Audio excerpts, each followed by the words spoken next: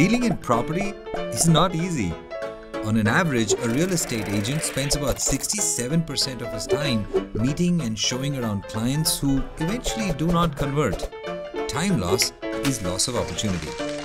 Yes, dealing in property is really not easy. At commonfloor.com, we want to help you close more deals and make more money. Today's home hunters are busy professionals and businessmen who are looking for good property options to shortlist, site visit, and close. No one's got time.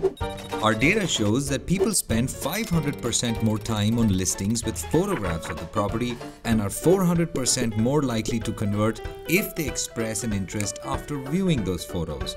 So why waste any more time? Grab your camera or your smartphone and upload great pictures of properties that you have to show.